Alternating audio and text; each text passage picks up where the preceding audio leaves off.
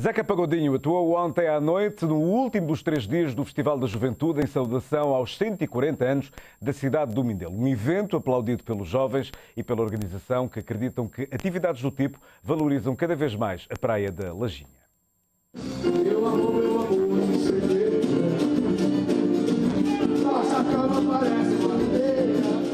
Zeca Pagodinho foi o último artista a subir ao palco da Lejinha no Festival da Juventude em saudação aos 140 anos da cidade do Mindelo. O artista carioca de gema percorreu os grandes sucessos em 90 minutos de puro samba.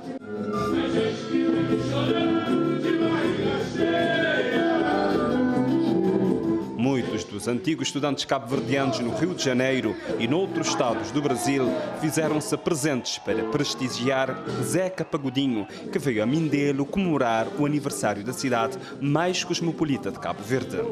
Gostar especialmente hoje, como é óbvio, ter o de Zeca Pagodinho na Copacabana e agora na Lajinha é fantástico.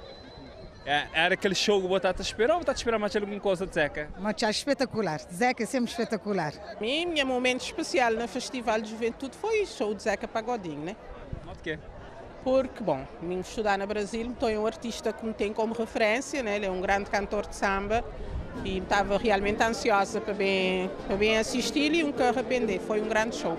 Foi um bom festival realmente. Hoje foi o melhor dia. O Zeca Pagodinho, um artista que não gosta de show e que não toca de suas músicas. Foi espetacular. É. Mas botava a gostar de tocar mais Zeca Pagodinho? Estava sim, já com tocar uma Dudu, não está gostando de tocar uma Zeca também. Tá? Seria bom, né? Para completar os dois artistas que gostam de show, não seria nada mal. Que espetáculo! E depois vamos realizar minha sonho, que é o Zeca Pagodinho. Sempre me um fã de seu. Espetáculo, espetáculo, não gosto de show. Já que esse é um festival que deve ser sempre realizado? E a mim, para mim, ele devia correr tudo onde? Sim, é melhor, porque ali já fica mais perto de, de tudo gente, lá na Bahia. Ok, ele é cool, mas ali é mais perto e já te valoriza nos praias, porque agora não te comprar é grande. Gostar de Zeca Pagodinho? Gostar, sim.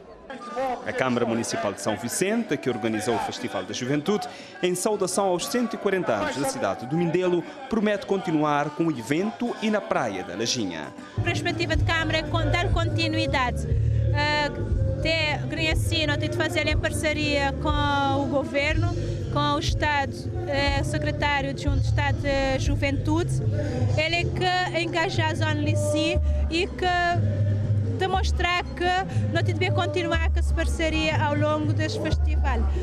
É, também de realçar que esse festival não quer abranger simplesmente na parte cultural, é, a Câmara é, não fazer parte, não tive parte esportiva que iniciar desde o dia 3 de abril, a partir do dia 22, não te dá início a formações durante duas semanas. Formações nas áreas de iniciação em fotografia, design gráfico e impressão para jovens nos próximos dias quanto ao Festival da Juventude na Praia da Leginha para o ano a mais.